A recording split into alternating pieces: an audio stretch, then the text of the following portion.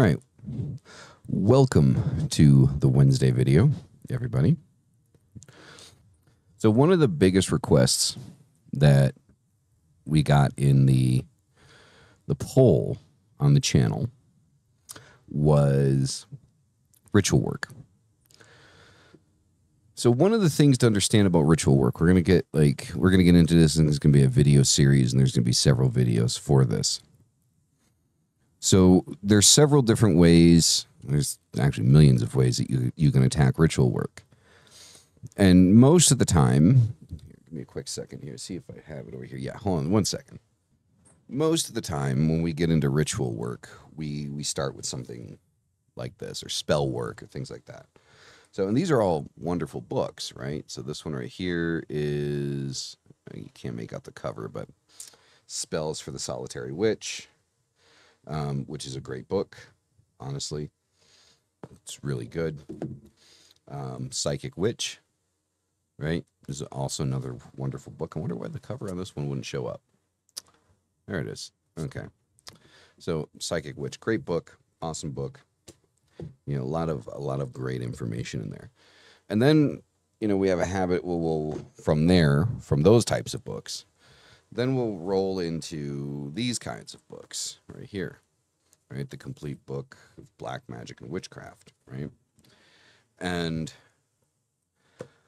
we'll look, we'll look at these and we'll say okay so plentiful full of knowledge right the one book that we always skip over, though, is this one. This is the book we skip over. Right here. And you're probably wondering, well, what is that?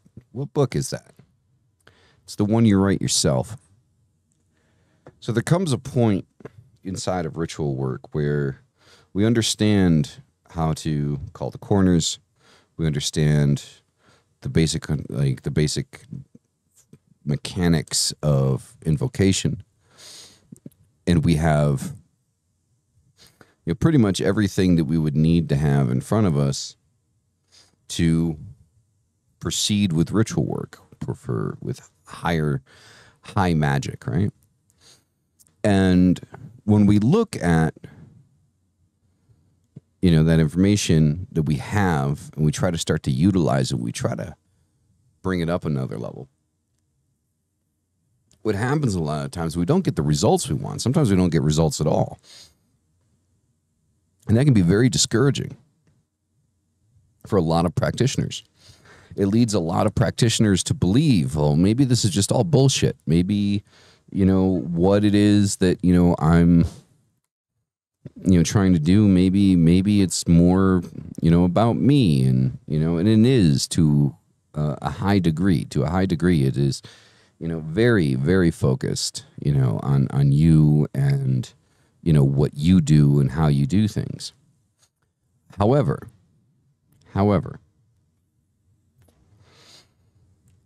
I'm here to tell you that everything that we believed in, everything we wanted to believe in, everything we wanted to happen, everything we looked forward to, you know, what made us excited to get a new deck of tarot cards, what made us excited about buying that new book, what made us excited about, you know, reading, you know, a different author and a different perspective. It's all there, it's all real.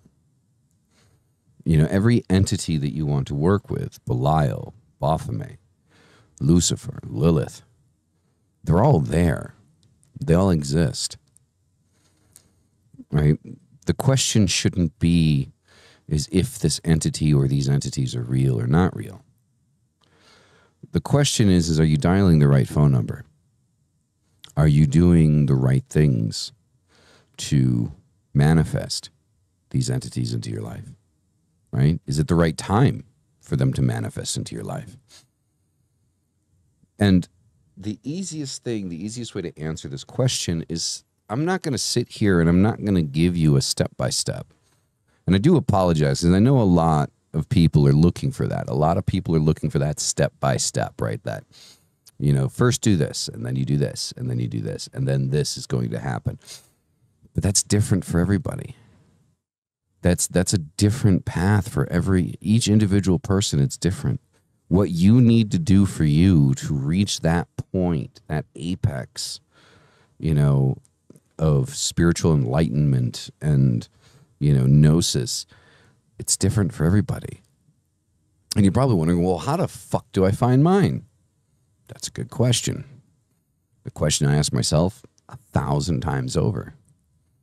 And then I realized, and this is something I've mentioned a lot of times in the podcast, then I realized it's not about I've read the wrong books or I'm following the wrong instructions. It's the fact that I'm following instructions at all. It's the fact that I'm not really opening myself up and putting myself out there right for these entities to want to work with me right i'm i'm i'm i'm, I'm coloring by numbers right and wondering why my painting isn't going into a gallery think about that for a second. Think about that analogy for a second because that's essentially what we're looking at right? Is you have this artistic inclination and you want to create a work. So what you do to practice is you get colored by numbers. And you color in the numbers as it says you need to color in the numbers and you get this beautiful you know monet or you know picasso or whatever you know that looks it does. It looks amazing. But you can't do anything with it other than hanging on your wall and say yep it was colored by numbers. Right? You got a result. You just didn't get the result you were looking for. And generally speaking, the result that we're looking for comes after the work that we put into it, right? So there's different levels of what you get out from what you put in. So if you put in the time and the energy and the effort into a color by numbers, you get a piece of artwork that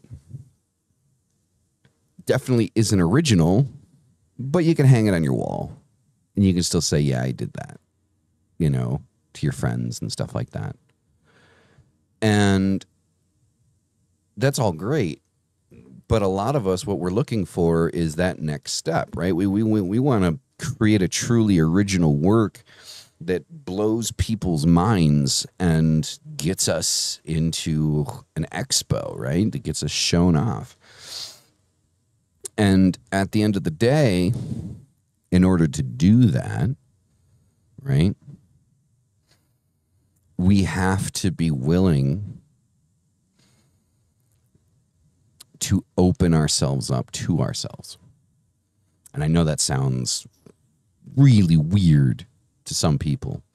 Open yourself up to yourself.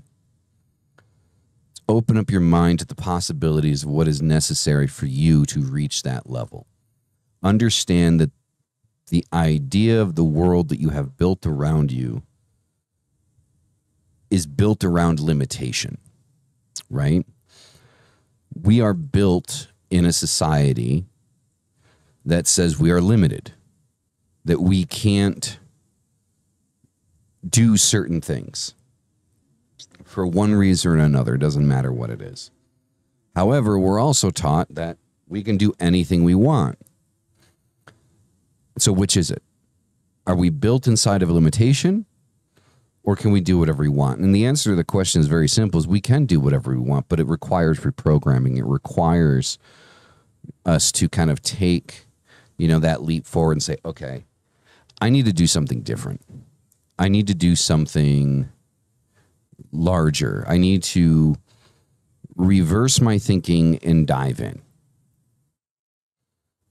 I need to open to these possibilities. And reprogramming is not easy. Like reprogramming your mind to be open to these things is not easy. When you start to feel that inkling, like you want to do a ritual or you think that, like, okay, like, you know, I know that there's something else out there you're at the edge right you're you're just starting right that isn't that isn't the switch and a lot of us get confused and we think that that's the switch. And then we jump into ritual and we light the candles and we light the incense and we say the incantation and then nothing happens. We're like, fuck, Again, nothing. That's because you overshot yourself again. You keep overshooting the line. Right? That is what's that, that is what's happening. We're overshooting the line. We're not allowing ourselves to fully submerge into this, okay, I am capable of anything. I am capable of anything. We need to fully bring ourselves to the point of not proving it to ourselves by doing it, but believing that we're truly believing that we're able to do it because you can't do anything without truly believing you're capable first. It's just a matter of fact.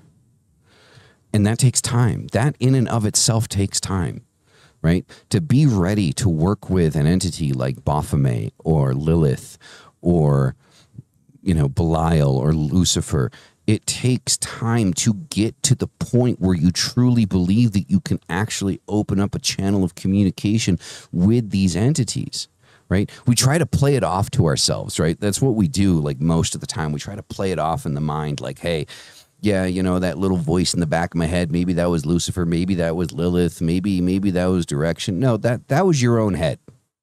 That sorry, that was your own head. Okay, that was you talking to yourself. That was you trying to create a self-fulfilling prophecy. And it's not that you can't hear them. It's not that you can't communicate with them. You can. They are there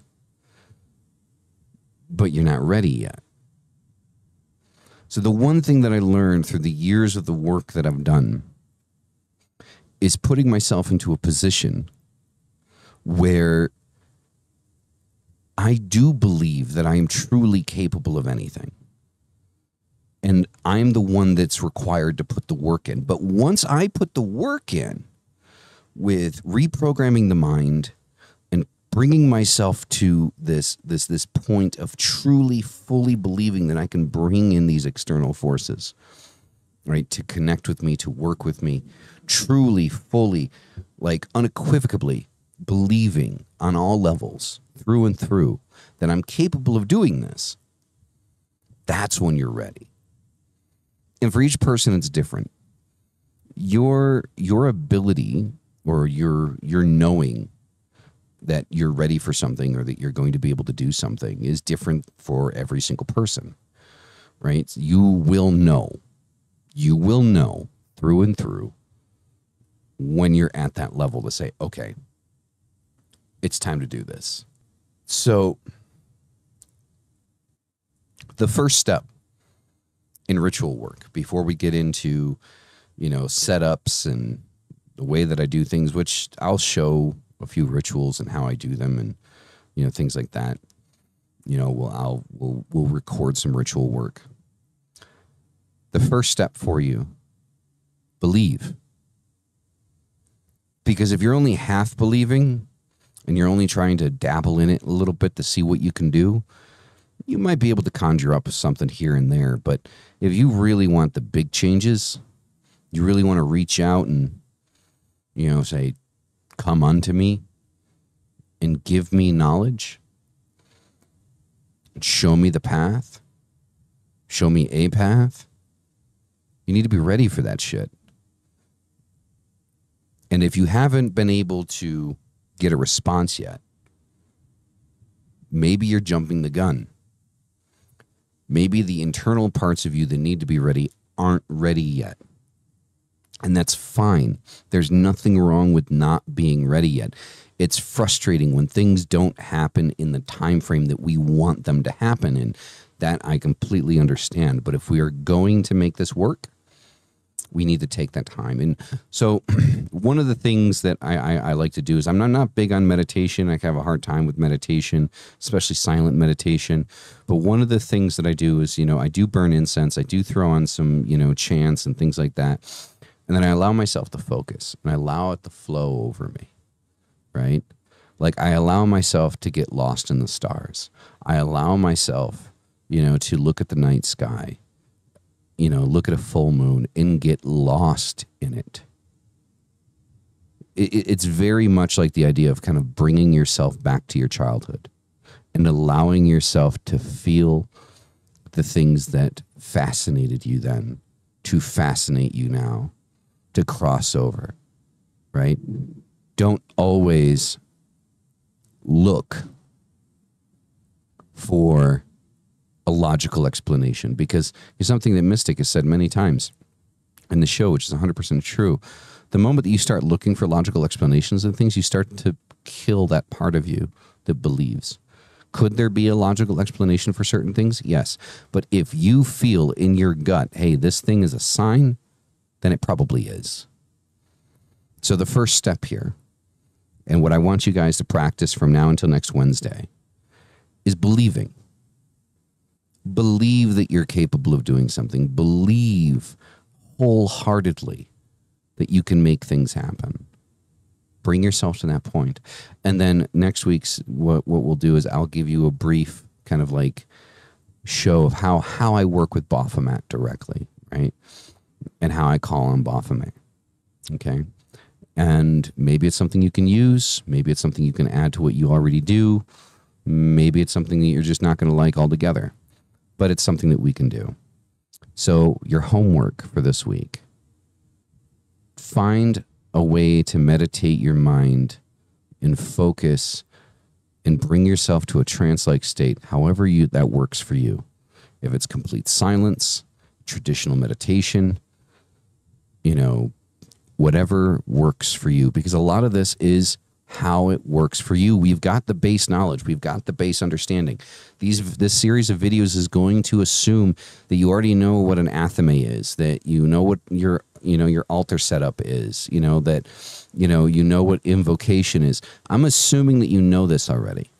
Okay, maybe we can do some beginner videos, you know, later on that kind of cover these types of things. But I think that this this knowledge, what we're talking about right now, is something that's not fully focused on, We're not very clearly done in you know other mediums. And i think you know this is something that a lot of people need to get to that next level. So that's what we're doing okay? So with that being said your homework find a form of meditation that works for you. Any form of meditation. Something that's going to bring that trance state out right? Allow you to touch that inner child again to touch that fascination and that awe that's inside of you, that lives inside of all of us. Find it. And that is going to be the spark that is going to light your black flame inside of yourself. Because, like any flame, it requires a spark. And the only way that you can spark and light your black flame is by finding what works for you. So, this is also going to be a good exercise for you to be able to research and find things that function for you specifically and not rely on 100% what other people are telling you you need to do or you should do. Because your form of meditation could be a combination of five different things. You tried each one of these five. There's one aspect of it that you like off of each one, but not each one is perfect to how you want it. Put it together. Create a puzzle and put it together. All right, everybody, that is going to be it for today. All right. And we will see you next week for this series. Friday, we got a reaction coming. So, as always, hail thy fucking self. We'll see you in the next one. Peace the fuck out.